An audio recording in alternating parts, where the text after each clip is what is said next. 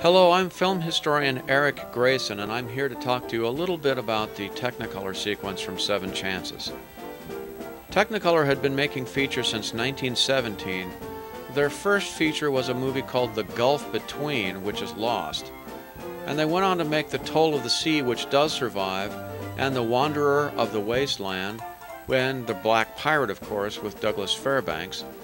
Now, in most cases where we have good material on Technicolor from this period, it's because the negatives survive.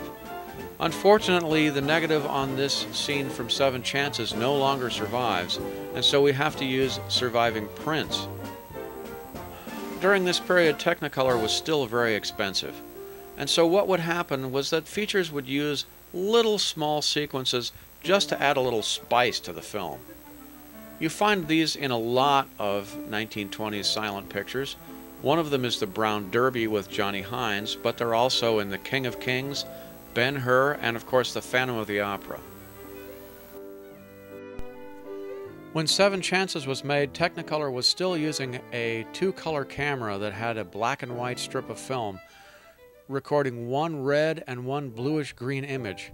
These were then printed on two separate pieces of film and they were glued or cemented together. After a while, the glue and the cement would swell and it would become hard to focus and project the prints. Everyone really hated them at the time. They were not very popular, and it didn't get any better until Technicolor changed its formulation in 1928 to come up with a dye transfer method, which is what we remember Technicolor for today. This is made from the Library of Congress's print that's the new Kino HD transfer and you can see that the color is almost completely faded orange.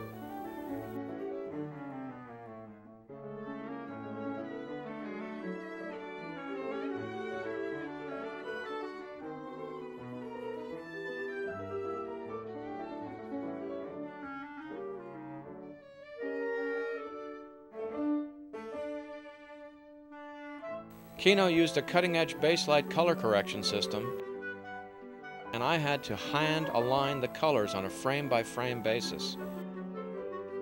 Sometimes film preservation means that we have to combine the best elements from two prints.